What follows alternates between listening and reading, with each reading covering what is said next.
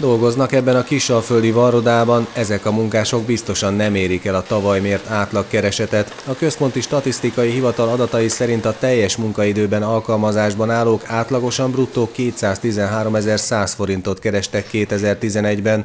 Az általunk megkérdezett győrieknek nincs ennyi fizetésük, de azt mondják, ez nem is elég a megélhetéshez. Nekem nagyon jó lenne. Nekem nagyon szép lenne a családom. Nekem, én nekem hála Istennek megvan az a kis betevő, amit a családomnak meg tudok adni, a kislányomnak is, magamnak is. Én, mi, én el tudom magunkat itt tartani. Az, az minden napi dolog, amit, amit kenyérre való, meg amit, amit megkíván az embernek a szeme szája, azt meg tudom teremteni hála Isten a családomnak. Nekem van ennyi, de ez így nem igaz.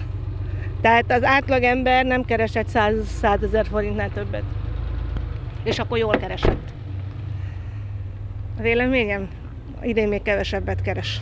Ha annyit kapnának sokan, 213 ezeret, az, az megfelelő. De hát ez ugye ez csak egy óriási átlag, amiben benn vannak a 10 milliómosok is, meg igaz a 80 ezeres, meg a 40 ezeresek is.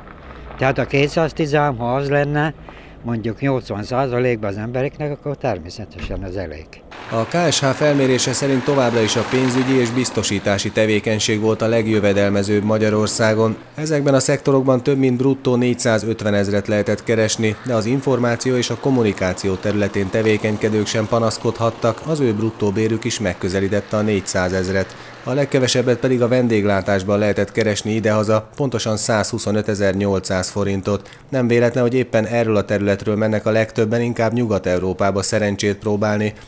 Ausztriában például egy-egy pincér vagy szakács akár a magyar fizetésének 4-5-szörösét is megkapja, a versenyképes bér pedig főleg a május 1 munkaerőpiaci nyitás óta százával vonza a jól képzett szakembereket.